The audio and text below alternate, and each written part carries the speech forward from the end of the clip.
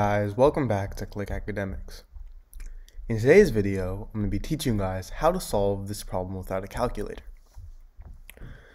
So we have 5 to the power of 101 minus 5 to the power of 100.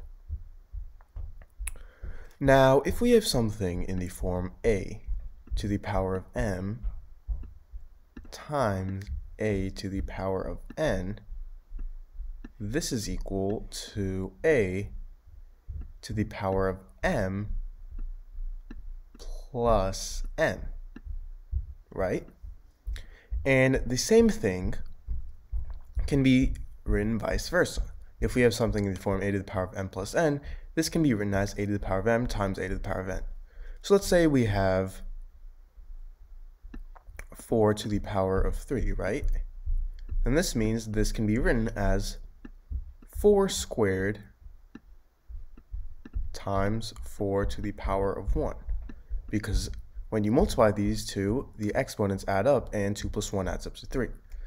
So now what I'm going to do to 5 to the power of 101 is I'm going to rewrite it as 5 to the power of 100 times 5. And 5 is the same thing as 5 to the power of 1. And 100 plus 1 is 101. So now we are going to subtract this with 5 to the power of 100. And now that both of these terms have 5 to the power of 100 in them, I'm going to factor out 5 to the power of 100.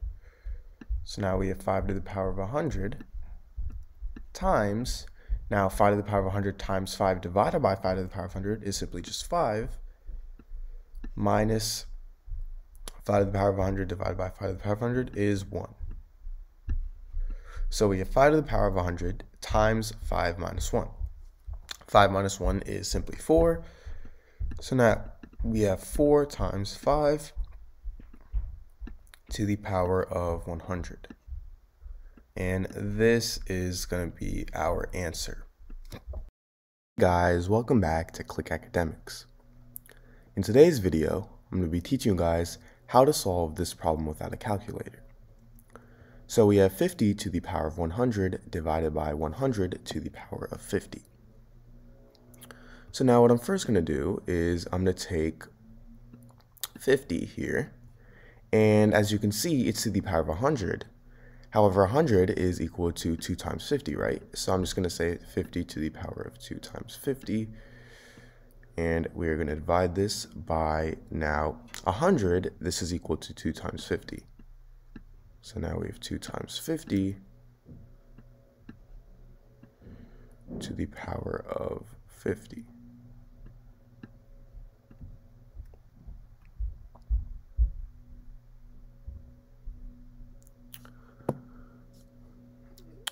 Now, this is going to equal 50 to the power of 2 times 50 is simply equal to 50 to the power of 50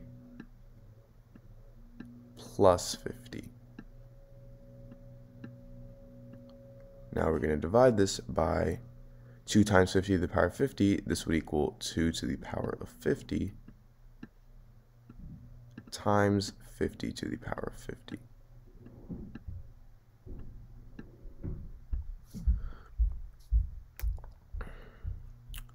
Now, if we have something in the form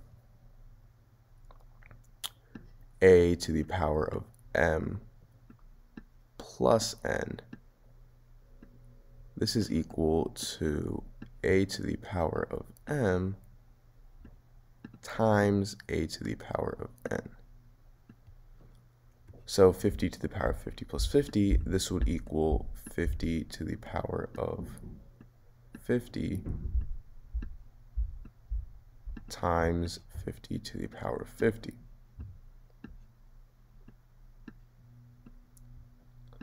And we are dividing this with 2 to the power of 50 times 50 to the power of 50.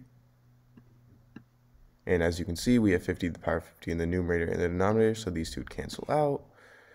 And this would equal 50 to the power of 50 over 2 to the power of 50. Now, if we have something in the form a to the power of m over b to the power of m, this is equal to a over b to the power of m.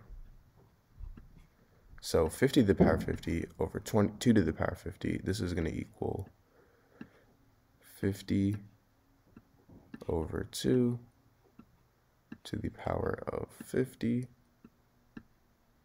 And this is equal to 50 divided by 2 is 25. So 25 to the power of 50. Now 25, this is the same thing as 5 squared. So this is equal to 5 squared to the power of 50. And if we have something in the form a to the power of m to the power of n, this is equal to a to the power of m times n. So this is going to equal 5 to the power of 2 times 50 which is simply just 5 to the power of 100. So this is our answer.